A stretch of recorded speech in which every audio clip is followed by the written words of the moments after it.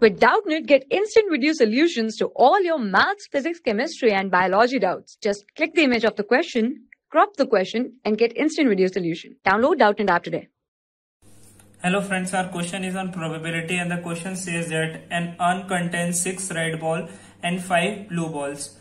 Two balls are drawn in random with replacement. Find the probability for A, 2 red balls, 2 blue balls, 1 red and 1 blue ball. So friend, as we given that the urn contains 6 red and 5 blue balls which means there are total number of 11 balls and out of 11 balls there are 6 red balls and 5 are blue balls now our event let's suppose a event a which is equals to taking red balls. So what is our probability? This is equals to favorable outcome divided by total number of outcomes. So p of a will be equals to 6 by 11 now friend what we have to find? We have to find a complement a complement which means does not taking red balls which means taking blue balls. So this will be equals to p of a complement which is equals to 5 by 11 this is taking this is the probability for taking blue balls. Now friend we have given that two trials are even uh, are independent because we have clearly given that two balls are drawn in random with replacement. So from here we will say that two trials two trials are independent now our first part what it says that p of 2 red ball probability of 2 red ball.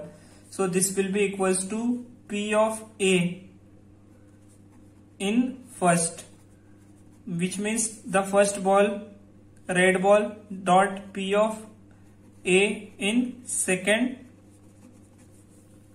means our uh, probability in first turn is this dot probability of second turn. So what is our probability in first turn?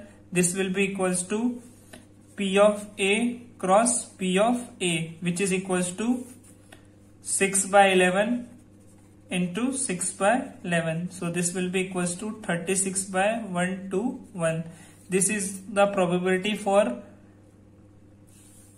probability for two red balls. Similarly, the probability for two blue balls this will be equals to p of a complement in first intersection of a complement in second. So from here what we'll get? We will get p of a complement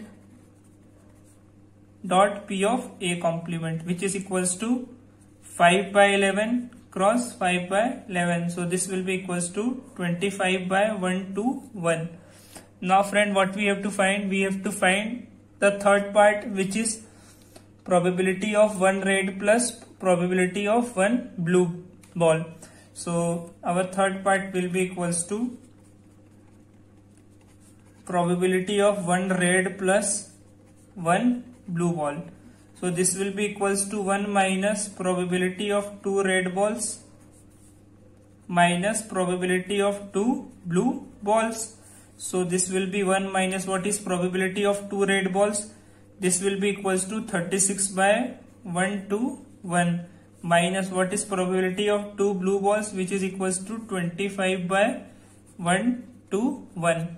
Now when we solve this what we'll get? We will get our answer which is equals to 60 by 1 to 1. So this is the probability for taking one red and one blue balls.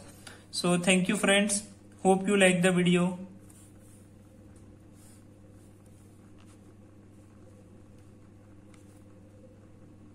For class 6 to 12, IIT JEE and NEET level. Trusted by more than 5 crore students. Download Doubtnut app today.